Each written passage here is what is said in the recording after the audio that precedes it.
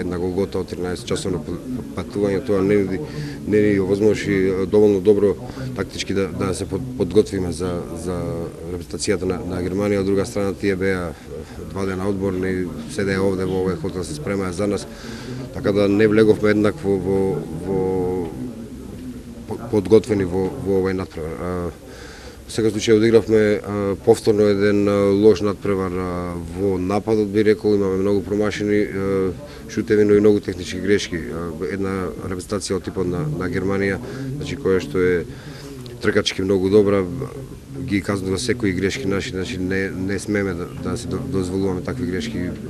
Видовте ти имаат добра трансформација од нивната одбрана во контра, во полуконтра, значи лесни голови и на крајот тоа и го, го одличи на преварата.